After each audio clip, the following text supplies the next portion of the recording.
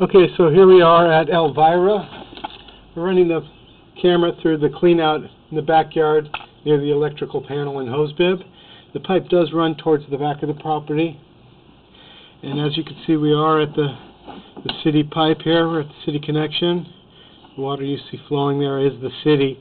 Um, as we pull it back towards the saddle, we do see a large root intrusion here. Let me clean my camera up a minute large root intrusion here at the saddle. The saddle does look to be compromised.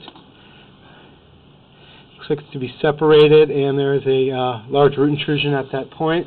Um, in order to see exactly where it's bad, we would need to run the jetter and see if it's um, able to be repaired with a um, what's called a top hat, or if it needs to be dug up and replaced. So as we pull it back from the saddle, it does look like this has been lined at one point, just a section of it.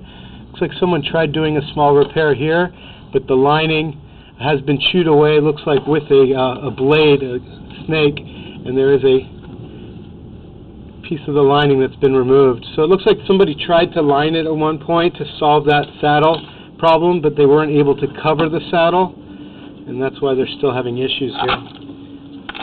And you can see that the sa the, the lining's been ripped up with uh, a, a snake. Um, it does look like um, this pipe here has been changed.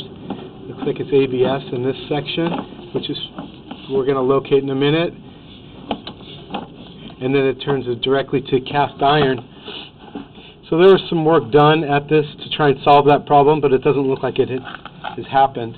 Uh, the problem is still continuing.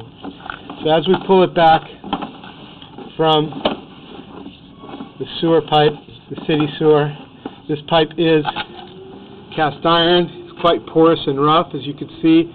Uh, my camera is going straight down, so this pipe goes very deep in one section. It does straighten out here, but you can see there's a lot of buildup on the bottom of this pipe because the pipe is original and cast iron and old.